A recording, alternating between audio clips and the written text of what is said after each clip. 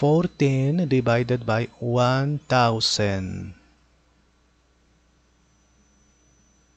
14 is less than 1000, therefore complete.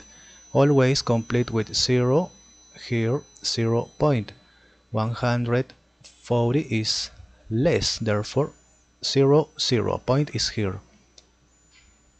Is not less, therefore 1000 multiplied by which number is nearest to 1400 but not greater. Multiplied by 2 is greater therefore multiplied by 1 is 1000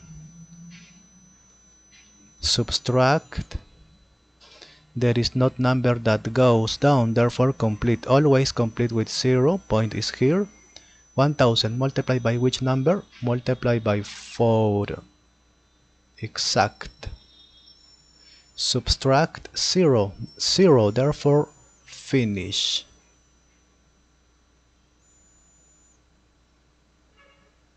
Finish